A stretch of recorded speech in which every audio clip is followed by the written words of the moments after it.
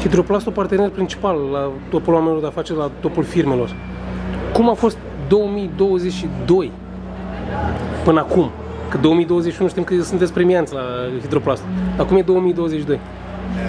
2022 înseamnă o cifră de afaceri cu circa 20% mai mult. Dacă anul trecut am avut 2,2 milioane de euro, anul acesta o să depășim 2,6 milioane de euro.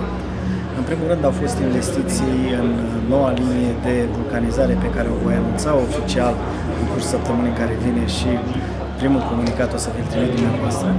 În al doilea rând a fost încă într-o linie de regranulare. Noi până acum făceam Uh, granule din PVC, dar acum am investit într-o nouă linie mult mai puternică cu o capacitate de circa o tonă pe oră. Uh, în ceea ce primește partea de profit uh, față de 2021, cred că anul 2022 a scăzut cu circa 20%, dar în majoritate din cauza noilor investiții pe, pe care le-am făcut.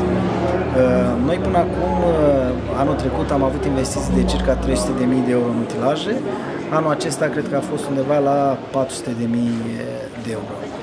Ehm, vis-a-vis de întrebarea dumneavoastră ca și partener uh, oficial, acesta este un lucru pe care mi l-am dorit uh, de foarte mult timp. Menționez încă o dată că am 38 de ani, uh, fac afaceri de 17 ani și am avut foarte multe exemple și a fost ca un vis de-a meu când veneam de fiecare dată și eram premiat, nu chiar locul 1 sau locul 2, cred că aveam locul 4, locul 5 și așa mai departe, dar am zis că o să ajung într-o zi în care să fiu partener uh, principal. Și uh, mi-am dorit aceasta și uitați că uh, astăzi uh, visul acesta sau încă un vis s-a, s-a îndeplinit.